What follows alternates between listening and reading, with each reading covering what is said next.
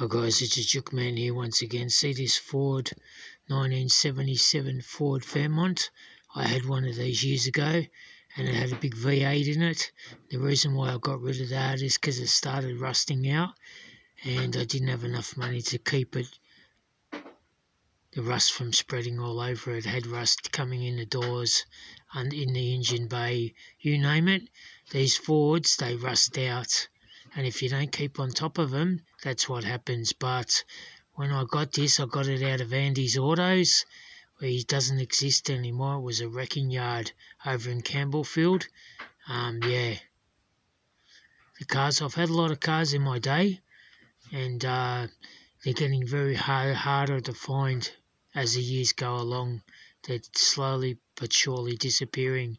That's why it's very important that we uh, get behind these cars and save them if we can. And um, yeah, bit of bit of history, Ford history there. 77 model. And uh, mine started rusting under that vinyl roof up the top there. It's a pity rust gets to them, but uh, it is what it is.